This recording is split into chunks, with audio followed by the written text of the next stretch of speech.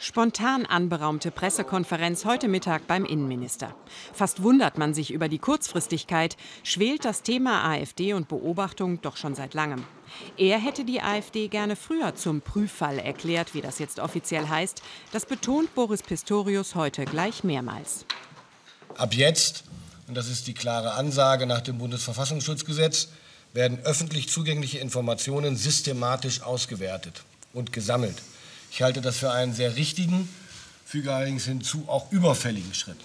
Und dann holt Pistorius zum Rundumschlag aus. Rechtsextrem, völkisch, nationalistisch. Das sind seine Adjektive zur AfD. Die AfD hat sich in den vergangenen etwa fünf Jahren von einer im Wesentlichen eurokritischen Partei hin zu einer, das kann man gar nicht anders sagen, inzwischen in Teilen rechtsextremen Partei entwickelt. Eine Partei mit teils völkisch-nationalistischer Grundhaltung die partiell ethnische Gruppen ausgrenzt und ihnen die Menschenwürde abspricht. Und was sagt die AfD in Niedersachsen dazu, die sich hier im Land gern bürgerlich präsentiert, gemäßigt, sachorientiert? Wenn wir irgendetwas äh, mitbekommen, wo wir sagen, das ist nicht mit unserem Parteiprogramm konform, das ist nicht mit unserem Grundgesetz konform, natürlich reagieren wir dann. Allerdings äh, halte ich es für völlig verfehlt, äh, eine gesamte Partei unter Generalverdacht zu stellen wegen Einzelfällen. Das ist genau das, was man uns immer vorwirft, dass wir Bevölkerungsgruppen wegen Einzelfällen unter Generalverdacht stellen. Genau das Gleiche passiert jetzt mit uns.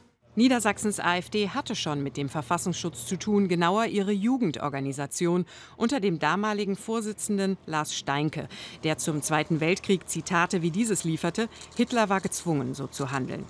Gegen Steinke läuft ein Parteiausschlussverfahren. Die junge Alternative in Niedersachsen ist mittlerweile aufgelöst.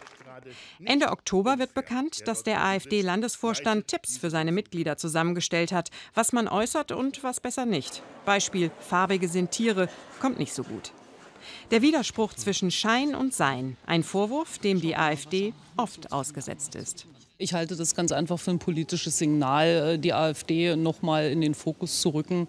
Und jetzt eben mit dieser Bezeichnung Prüffall. Es ist Wahljahr, die Europawahlen stehen vor der Tür und natürlich äh, zieht man die politische Agenda durch. Das dürfte der Innenminister anders sehen. Den strengeren Blick auf die AfD hält er nicht für ein politisches Manöver, sondern für einen überfälligen Schritt, begründet in der Radikalisierung von Teilen der Partei.